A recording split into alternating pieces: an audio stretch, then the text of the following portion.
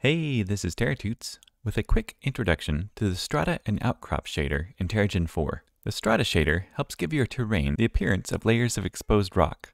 It's important to note that this shader only does displacement. Coloring the layers is a separate job. To start out, let's come into this scene where I've created a basic slope using the simple shape shader.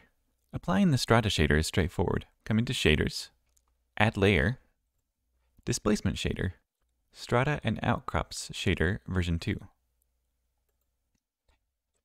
Immediately, we can start to see layers form on the surface of the slope. Let's dig into what's happening here and what all these settings do. Given a point on a slope, the strata shader raises some of the terrain below that point to the same altitude, like so. This is what Terragen calls a hard layer. The height of the raised section is called the hard layer depth.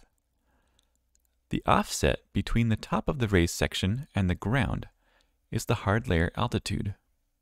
Additional hard layers are created above and below the original layer at a distance determined by the hard layer spacing. The angle here at the face of the hard layer is called the hard layer steepness and sets how quickly the terrain rises to the new altitude. The angle here above the hard layer is controlled by the plateau buildup setting. A high plateau buildup will cause the terrain to slant all the way up to the start of the next hard layer. Adding additional octaves with num octaves causes smaller hard layers to be added between and overlapping the originals at a closer spacing. Strata tilt angle controls the overall vertical angle of the strata layers. While if we come over to a top view, strata tilt direction controls the heading angle at which the strata is tilted. Together, the two settings allow strata to be created at any angle desired.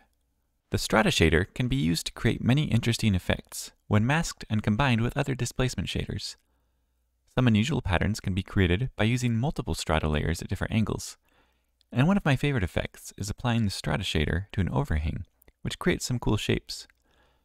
So there's the strata shader for your next canyon, cliff, rock wall, overhang, or wherever else you can find a use for it.